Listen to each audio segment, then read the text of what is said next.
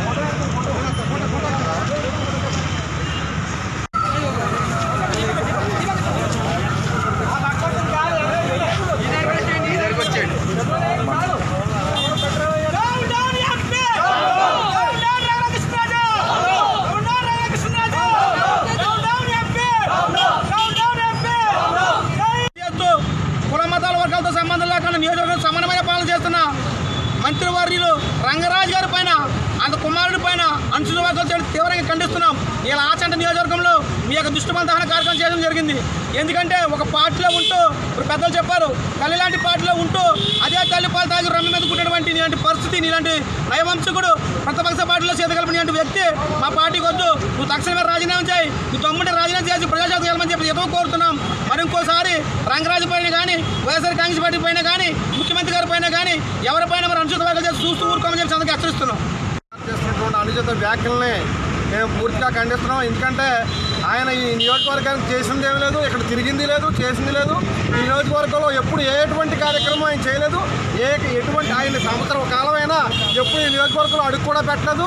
ఈ నియోజకవర్గానికి ఎప్పుడు రాలేదు. అది ఏమి ఏ మహమ్మారి కరో- కరోనా టైంలో కూడా ఎప్పుడు ప్రజలను పలకరించింది కూడా లేదు ఆయన వ్యక్తి మా నాయకుడు అయినటువంటి రంగరాజు గారి మీద అనుకృత వాళ్ళ అబ్బాయి మీద అనుకృత వ్యాఖ్యలు చేయడం మేము పూర్తిగా ఖండిస్తున్నాం. ఇటువంటి వ్యాఖ్యలు చేస్తే తస్మాత్ జాగ్రత్త. నీవు జాగ్రత్తగా ఉండు.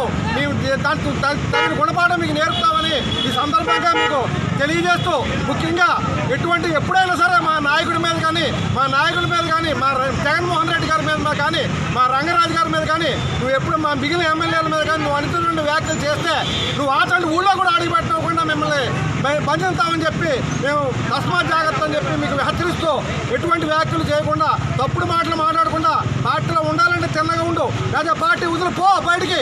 నువ్వు ఎలా గెలుస్తావో మేము చూస్తావు నువ్వు గెలువు. ఇటువంటి పోటీ అంతేగాని ఇటువంటి పని ఇటువంటి పనులు చేసి మా నాయకుడు కానీ మా నాయకుడు కొడుకుని కానీ మా ఎమ్మెల్యేలు కానీ మా ముఖ్యమంత్రిని కానీ నువ్వు అనుకున్నటువంటి వ్యాఖ్యలు టీవీ ముందుకు వచ్చి ఏదో డబ్బులు ఉన్నాయి కదా అని టీవీ ముందుకు వచ్చి నీ ఇష్టం వచ్చినట్టు వ్యాఖ్యలు చేస్తే ఊరికి నీ లేదని నీకు తీవ్రంగా హెచ్చరిస్తున్నావు. ఇది ఇది- ఇది- ఈ ఈ